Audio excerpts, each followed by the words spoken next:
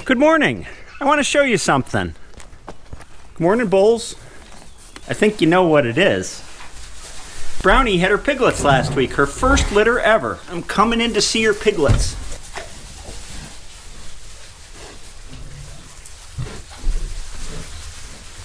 Hey, Mom. Hey, Mom. Brownie had 12 piglets initially, which I think is a great first litter, but they were small, and three of them didn't make it past the first day. I lost the other two to I'm not sure what.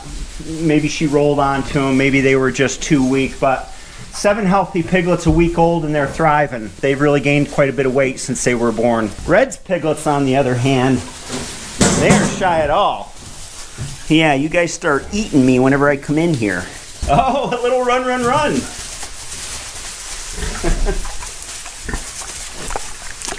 Hi, Mom. These guys are ready to go outside. They are getting very big. So today's project is to get the fence and the pen ready to move them out. And this is where they're gonna go. There haven't been pigs in here for two or three years. It is really overgrown. Buried under the grass, there's fence on two sides of this pen, but I gotta build a fence for the third and the fourth side here, and then we can move them in. The weed eater that I go around fences with, I have a different head on it than a string head. It's got these plastic inserts on it, and boy, they really chop away the thick stuff well. And it's hot today, so I'm gonna sweat. No big deal.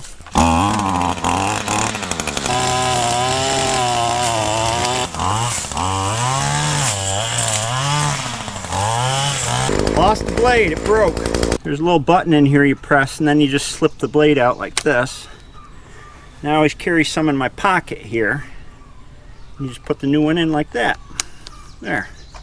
Good to go again.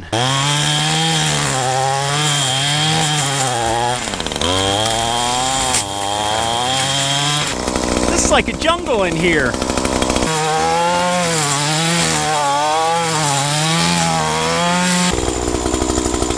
Wild leeks. Smell good.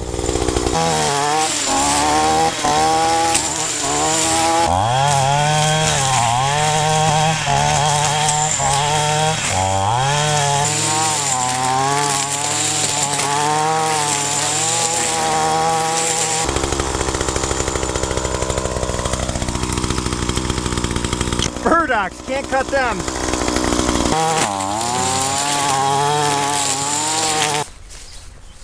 Huh. When I was in high school and college in the 80s, I worked for the City of Ithaca Department of Public Works parks crew, and we went around and took care of all the lawns and the parks in the City of Ithaca, which has a lot of parks, and we'd also take care of roadsides and creek banks, and sometimes I would spend a week or more with one of those weed eaters in my hand. They were bigger back then and heavier, and sometimes we put saw blades on them to cut down brush and things, so weed eating is something I've been doing for a long time. I don't enjoy it, but it gets the job done.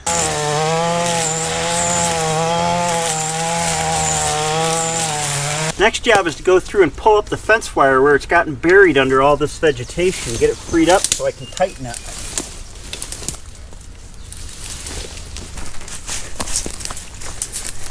Well, I'm gonna have to fix that corner post leaning. That insulator needs to be replaced.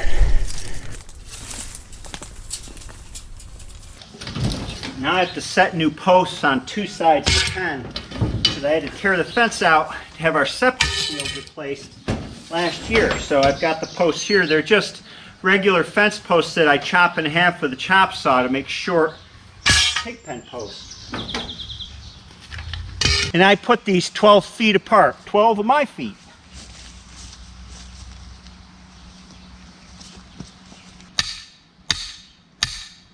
Well, I need a few more posts, so I'll cut them.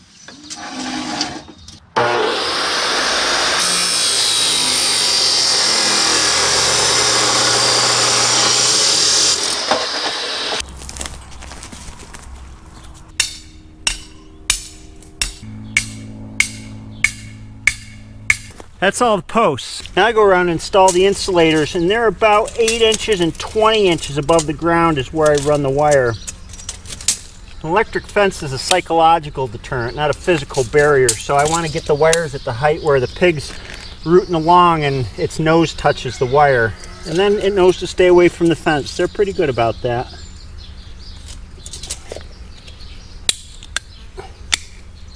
Put on the corner insulators, which I have some reused ones here.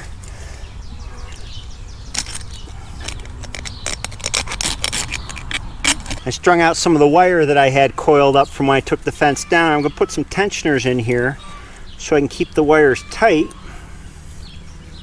And I don't keep a lot of tension on these wires, they don't need it. And then run the rest of the wire. I've got more salvaged fence wire. I'm doing this whole project using materials I've reused and salvaged from other places, which always feels good.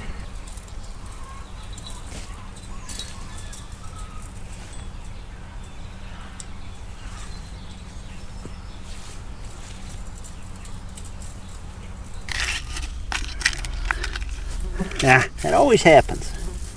Fasten the ends of these wires together with crimps.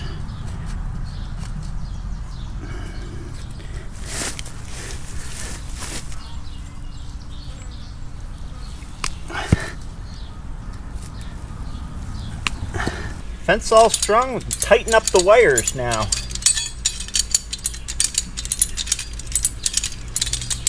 I've got a set of tensioners here and one on the other side and I walk around the fence to make sure everything's set right and then I'll tension up the other side.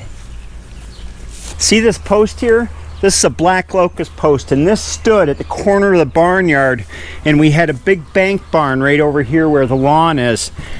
This has been in the ground longer than I've been alive. I remember it from when I was a little kid and there's another one down there and there's more scattered around the farm. It's amazing how long these things last. I've always left it here as kind of a memory. Got the fence all tightened up. Now all we have to do is to hook it up to the main fence and to do that, yeah, unplug the fencer. See if I got enough wire here. Oh yeah, I got enough. So we'll just bond it to the fence here. Top wire and bottom wire.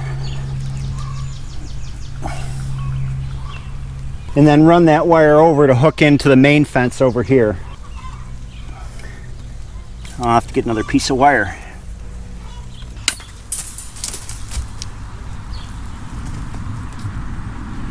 So this jumper will bring the zap to the pig pen and I just hook it to both wires to make sure it's getting the maximum voltage through it. Plug the fencer back in.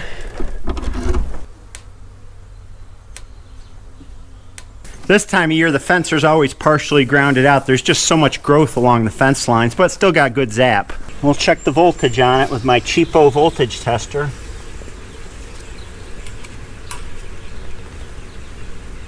3000 volts. Not great, but it'll be good enough. Now I need to go and find my plywood pieces. Not sure where I left them. Take the loader up to the upper barn and get the plywood. I know it's up there. There it is, right over there. If I remember right, I need four pieces.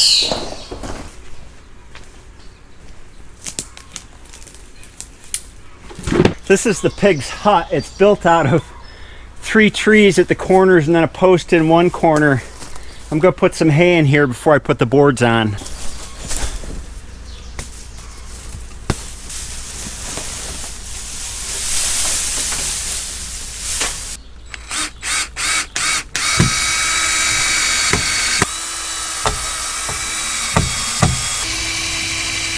There.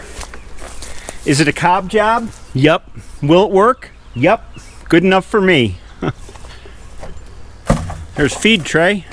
I went to the store yesterday. I was literally in there for five minutes. And when I came out, there was a cop writing a ticket for parking in a handicap spot. So I went up to the cop and I said, geez, can't you give a guy a break? And he didn't even look at me. He just kept writing his ticket. So I called him a pencil neck cop he looked up and he glared at me and he finished that first ticket, stuck it under the windshield wiper, and he started writing a second ticket for having bald tires. So I said to him, Does your psychiatrist make you lay face down on the couch when you go to see him because you're so ugly? He finished that second ticket and then he started writing a third. Well, this went on. I kept insulting him and he kept writing tickets till there were at least five stuck under the windshield wiper, at which point I gave up. I didn't care. My car was parked around the corner. Well, it's time to load up the piglets, but first we got to take Mom out of the pen so she doesn't freak out too badly. Actually, I don't think she'll freak out much at all. Usually they're relieved when their piglets go. They're big. All right, Red. Are you ready to be free of these little monsters? I think you might be. There's hornets someplace. Must be a nest over there. Come on, Mom. Come on, let's go. They're right up here. Mom's just taking a quiet pee. Nothing to see here. When I opened that gate and she was slamming against it, it vibrated the barn and the hornets up there got very mad and stung me and stung Hillary. Oh well. Okay, here we go. Gotcha.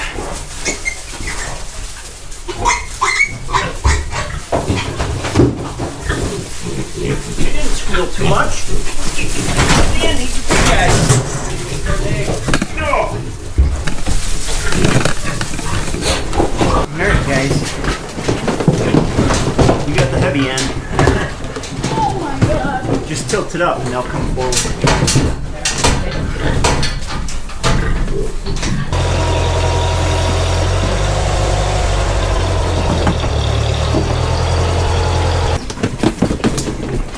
You want to set it down or Yes. I can drag it this way. Alright guys.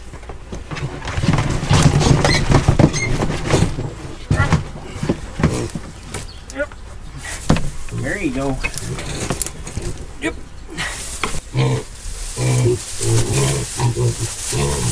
She's not too upset, is she?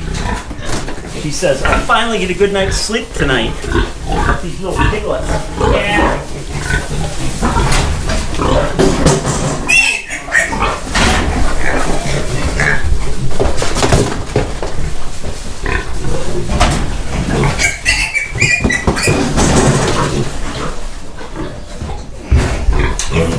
Going to a better place. You'll like it there.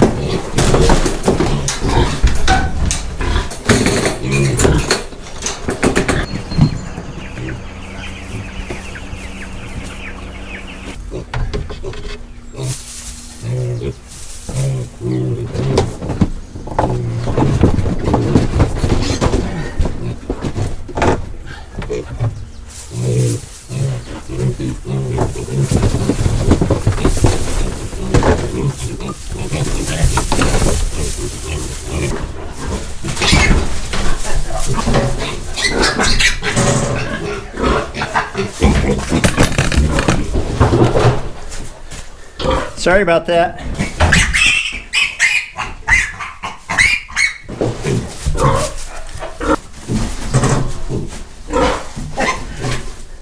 What are you doing under there? Oh. That's all the piglets, so we'll let mom back in. Needed some rooting in here. There you go. Come back. Yeah. Well, that's another good litter for Red. She had 11 piglets, 11 survived through, and once they survived this long, we're in pretty good shape. So she's a good sow.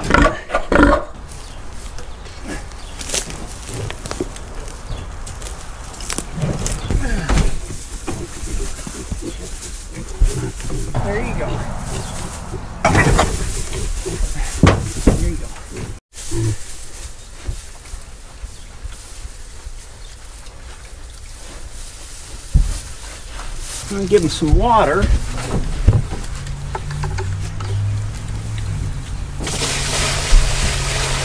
They won't come drink till after we're gone. when we put pigs out on pasture, we put these boards up. Oh, I freaked them out. Because it gets them to figure out that this is their home and it calms them down. We leave these boards up for a couple days and then I'll take them down and instead of letting them out of the dog crate and have them shoo, go right through the fence, which we've had happen before. If this is their kind of home base, they'll gradually come out and then they'll discover the fence and they'll understand the limits of their pasture. So it works really well. We haven't had problems with pigs getting out. We had one bad experience, and I have a story about that in an older video about pigs we brought home and they went straight through the fence. But since then, we haven't had a problem by closing in the pen like this. This is pig paradise right here. I mean, by December, when they go to the butcher, they'll have cleared all this out and rooted it all up. And in the hot weather, pigs love the shade, so they'll be tunneling underneath these tall plants and making paths and eating at the roots. And it's a great place to keep pigs. We always keep pigs in forested environments so they can get shade, um, make a wallow, and keep cool in the summer. I hope you enjoyed this video. We'll be checking back in on the pigs, of course, and hopefully one of these days they'll be run, run, running when I let them out. I'll see you next time.